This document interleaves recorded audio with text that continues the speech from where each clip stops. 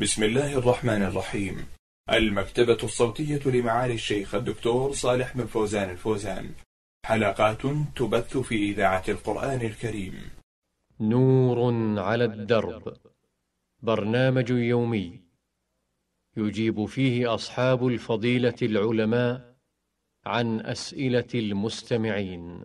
الحلقة الحادية والثلاثون. به المستمع عبد الرحمن الصالح المحمد من الرياض. آه، في سؤاله الأول يقول ما مدى صحة الحديث القائل ثلاثة لا يدخلون الجنة مدمن خمر وقاطع رحم ومصدق بالسحر وكيف يكون التصديق بالسحر أهو بقدرة الساحر أم بالتصديق بما يراه المسحور؟ قد تغير عما كان قبل أن يسحر أرجو توضيح هذه المسألة. جزاكم الله كل خير. بسم الله الرحمن الرحيم. الحمد لله رب العالمين. الصلاة والسلام على نبينا محمد وعلى آله وصحبه أجمعين. أما الحديث الذي أشار إليه السائل ثلاثة لا يدخلون الجنة فقد رواه الإمام أحمد وابن حبان في صحيحه وصححه الحاكم وأقره الذهبي رحم الله الجميع وأما معناه فهو الوعيد الشديد بحق من يصدق بالسحر مطلقا. ومنه التنجيم لقوله صلى الله عليه وسلم من اقتبس شعبة من النجوم فقد اقتبس شعبة من السحر. زاد ما زاد.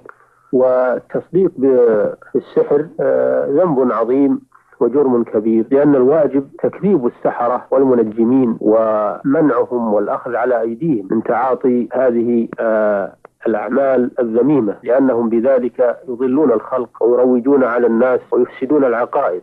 والسحر كفر كما دل على ذلك القرآن الكريم والسنة. والواجب قتل السحرة فإذا صدقهم فمعناه أنه وافقهم.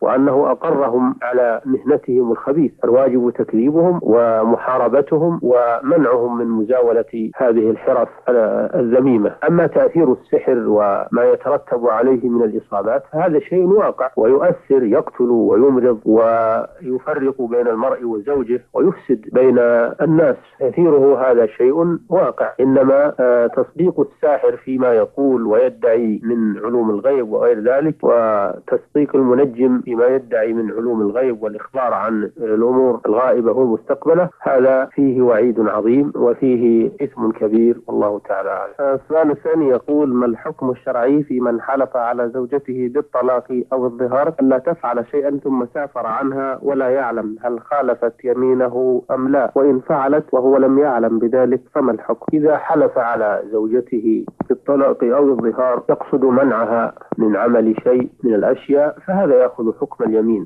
يأخذ حكم اليمين يكفر كفارة يمين وينحل. أما لو فعلت في غيبته ما نهاها عنه وحلف عليها ألا تفعله فإنه يحنث بذلك يحنث بذلك ولو لم يعلم لأنه لأنه حلف عليها ألا تفعل فخالفت اليمين وإذا خالفت اليمين متعمدة ذاكرة لهذا الحلف فإن الحالف يأثم بذلك وتكون عليه الكفارة سواء علم أو لم يعلم نعم. آه، في هذه الحالة فيما لو آه، طبعا تعتد إذا كانت مطلقة آه، تبدأ العدة من وقت المخالفة هي لا تطلق إذا كان قصده من قصده من من من الطلاق منعها من ذلك هذا لا يكون طلاقا وإنما يكون يمينا إذا قصد الطلاق. ولذلك تحله ولذلك تحله الكفارة. أما إذا كان قصد تعليق الطلاق قصد تطليقها. نعم. قصد تطليقها ولم يقصد منعها من فعل الشيء وإنما قصد تطليقها إذا فعلته. نعم. فهي تطلق من حين يقع منها هذا الشيء. المخالفة. المخالفة. إذا فعلت هذا مختارة ذاكرة لليمين. نعم. وإذا انتهت عدتها ولم يعلم هو أنها خالفت.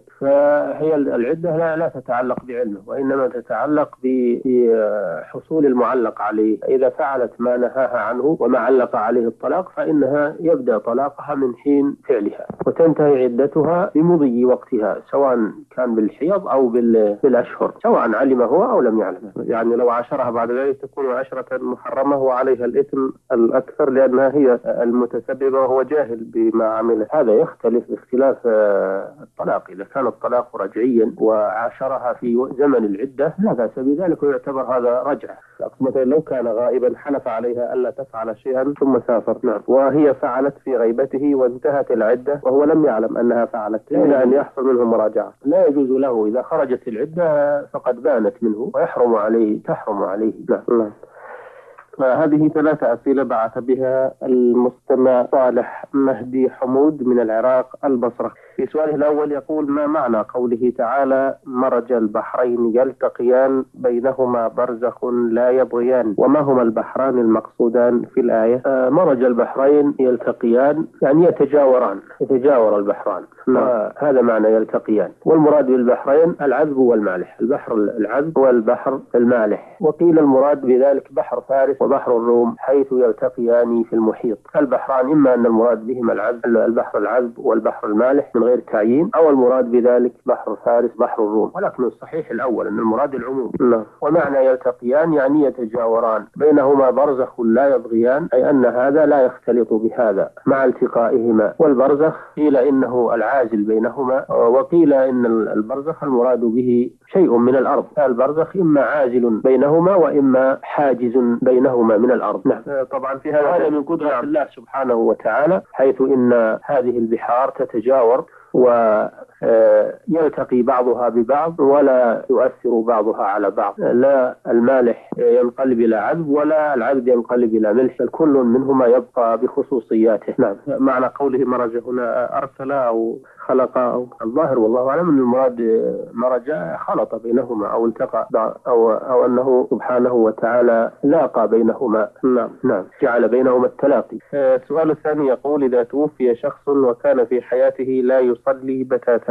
أو كان يصلي حينا ويتركها أحيانا. فهل يجوز أن تؤدى عنه الصلاة بعد وفاته؟ وإذا لم يكن ذلك جائز فهل آه، ينفع أن يتصدق عنه أو يقرأ له القرآن؟ وما هي الأشياء التي ينتفع بها الميت بعد وفاته ممن خلفه؟ أولا الصلاة لا تفعل عن أحد لا يصلي أحد عن أحد لأن الصلاة عمل بدني لا تدخله النيابة لا, عن الحي ولا عن الميت. ثانيا من ترك الصلاة متعمدا واستمر على ذلك حتى مات هذا حكمه أنه كافر والعياذ بالله. لا يجوز أن يترحم عليه ولا أن يدعى له ولا أن يتصدق عنه لأنه مات على الكفر لأن من ترك الصلاة متعمدا آه، واستمر على ذلك إلى أن مات فهذا كافر لا يجوز للمسلم أن يترحم عليه ولا أن يستغفر له ولا أن يتصدق عنه. وأما بالنسبة لما يلحق الميت بعد موته من الأعمال النبي صلى الله عليه وسلم يقول إذا مات ابن آدم انقطع عمله إلا من ثلاث صدقة جارية أو علم ينتفع به أو عمل أو ولد صالح يدعو له. هذه الأمور تلحق الميت. إذا أوقف وقفا ينتفع به في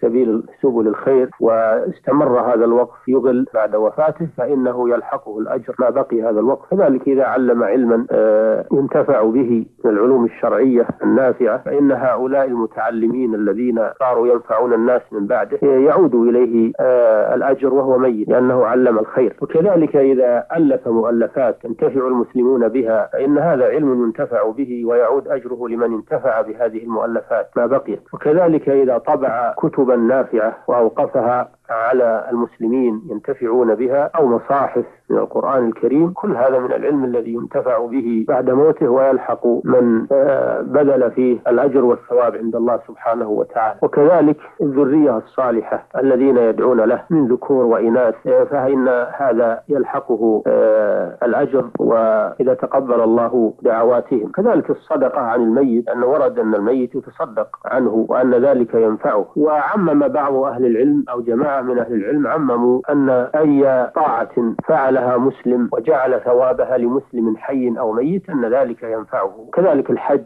ورد في الدليل أنه ينفع الميت وأنه يبرئ ذمته إذا كان واجبا عليه وينفعه إذا كان تطوعا. الحج والصدقة والدعاء والوقف كل هذا مما يلحق الميت بعد وفاته. نعم.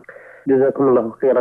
السؤال آه، الثالث يقول في شهر رمضان الماضي حصل أن أفطرت عدة أيام بدون عذر مشروع. هل يكفي قضائي لها فقط؟ وماذا يلزمني غير ذلك؟ فإني نادم على ذلك أشد الندم وعازم إن شاء الله على ألا أعود لمثل هذا أبدا. الإفطار في نهار رمضان من غير عذر خطأ كبير وجرم عظيم والعياذ بالله. والواجب على من فعل ذلك أن يتوب إلى الله سبحانه وتعالى توبة صحيحة ويندم على ما فات ولا يعود لهذا في المستقبل ويحافظ على صيامه. ثم عليه مع التوبة أن يقضي الأيام التي تركها. عليك أن تقضي هذه الأيام التي تركتها بعدما تبت إلى الله سبحانه وتعالى. لعل الله أن يعفو عن ما سبق. نعم. لا يلزمه يطعم مع إذا كان أتى عليه رمضان آخر. إذا كان أتى عليه رمضان آخر قبل أن يصومها فعليه إطعام عن كل يوم مسكين. أن يطعم مع القضاء عن كل يوم مسكينا. إذا كان أتى عليه رمضان آخر ولم يصمها من غير عذر. نعم. أما إذا كان أخرها لعذر ولم يتمكن فإنما يكفيه القضاء فقط. نعم. والإطعام كم كم مقداره؟ آه يعطي كل مسكين نصاع. نصاع. هذا هو الأحوط. نعم. نص صاع من الطعام المعتاد في البلد. نعم آه هذا المستمع محمد علي ترك من تركيا بعث بثلاثة أسئلة. يقول في سؤاله الأول ما معنى قوله تعالى في سورة الإسراء ويسألونك عن الروح قل الروح من أمر ربي وما أوتيتم من العلم إلا قليلا ولئن شئنا لنذهبن بالذي أوحينا إليك ثم لا تجد لك علينا ثم لا تجد لك به علينا وكيلا إلا رحمة من ربك إن فضله كان عليك كبيرا. كانت اليهود قد قالت لمشركي قريش المشركين من أهل مكة اسألوا هذا الرجل يعني محمد صلى الله عليه وسلم عن ثلاث مسائل. المسألة الأولى عن أصحاب الكهف والمسألة الثانية عن ذي القرنين المسألة الثالثة عن الروح. فإن أجابكم عنها فهو نبي. نعم. الله سبحانه وتعالى أنزل على رسوله الإجابة عن هذه الأسئلة عن أصحاب الكهف وعن ذي القرنين وأما الروح. الله سبحانه وتعالى قال قل الروح من أمر ربي. فلم يجيبهم إلى سؤالهم؟ وإنما بين أنها من خصوصياته سبحانه وتعالى وأنه هو الذي خلقها وهو الذي يعلمها ولا يعلمها أحد من الخلق. فهي سر من الأسرار ولا تزال سرا وهذا من معجزات القرآن. فإنه مع تقدم الطب والمهارة فيه ومع حرص الناس على البحث في هذا الشأن لم يعرفوا شيئا عن حقيقة الروح. قل الروح من أمر ربي. على أن المراد بالروح آه، ما يحيا به الإنسان. هذا السر الذي يحيا به الإنسان يكون حيا وإذا فارقه مفارقة تامة يكون ميتا. وإذا فارقه بعض المفارقة يكون نائما. فالروح لها اتصالات بالبدن اتصال بالبدن وهو في بطن أمه واتصال بالبدن بعدما يولد في الحياة الدنيا وهو متيقظ واتصال بالبدن وهو نائم واتصال بالبدن وهو في القبر واتصال بالبدن في الدار الآخرة وهذا الاتصال الأخير اتصال لا مفارقة بعده لا مفارقة بعده. فهذه الروح من العجائب التي لا يعلمها إلا الله سبحانه وتعالى. وقيل المراد بالروح جبريل عليه الصلاة والسلام وقيل المراد بالروح ملك من الملائكة أو جماعة من الملائكة. فعلى كل حال الروح سر من أسرار الله لم يطلع عليها عباده سبحانه وتعالى. قل الروح من أمر ربي وما أوتيتم من العلم إلا قليلا. فالبشر مهما أوتوا من العلوم والمعارف فإنه فإن علمهم قليل أو لا شيء بالنسبة لعلم الله سبحانه وتعالى. وقوله تعالى ولئن شئنا لنذهبن بالذي أوحينا إليك يعني القرآن أن الله جل وعلا أنزل هذا القرآن نعمة ومنة على رسوله صلى الله عليه وسلم وعلى أمته فهو من أكبر النعم. وأنزل عليك الكتاب والحكمة وعلمك ما لم تكن تعلم وكان فضل الله عليك عظيما. فهو من أعظم النعم التي أنعم الله بها على هذا النبي الكريم وعلى أمته إلى يوم القيامة لأن به سعادتهم ونجاتهم في الدنيا والآخرة. الله قادر على أن يرفع هذا القرآن وأن يزيل هذه النعمة كما أنزلها. كما أنه هو الذي أنزلها فهو قادر على رفعها. وذلك مما يوجب على العباد أن يشكروا الله سبحانه وتعالى على هذه النعمة ليستفيدوا منها وينتفعوا بها. ولئن شئنا لنذهبن بالذي أوحينا إليك ثم لا تجد لك به علينا وكيلا